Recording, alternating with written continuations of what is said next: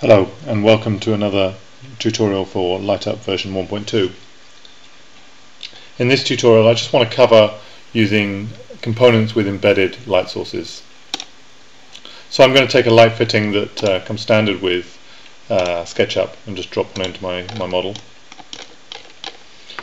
Um, I'm just going to do a little edit of this and all I'm going to do is I'm just going to drop in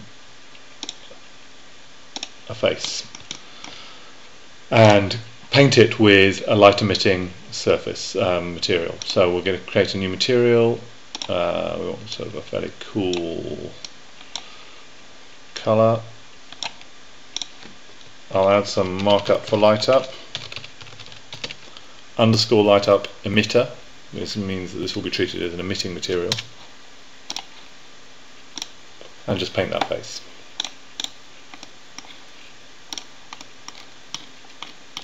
Okay, so um, let's just look at preferences. I want to just turn off use sun um, here. Um, and let's just see what we've got so far. Okay, so we've got uh, a little pool of light. What I'm going to do is take the query tool and just click on that surface and really bump up um, the power and reduce down the spread.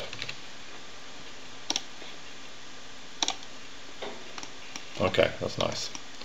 Um, now I've got that set up, I'm able to use all the tools that uh, SketchUp provides. Um, so I can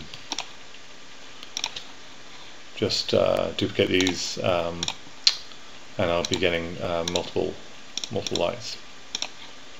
So there you go. Um, and what's nice is that uh, of course I can I can put in um, you know these get all get nicely occluded um, in the normal LightUp way. So if I add a little occlusion there um, you get some some nice occlusion from this. Also I think um, one of the things you can do of course is to uh, if I come here and I get a translucent material like this green one um, and just paint this block with a translucent material.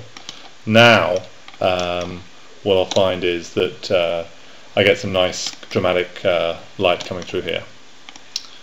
So that's just basically the use of um, components with embedded light um, light sources um, and uh, how they're best used in uh, LightUp.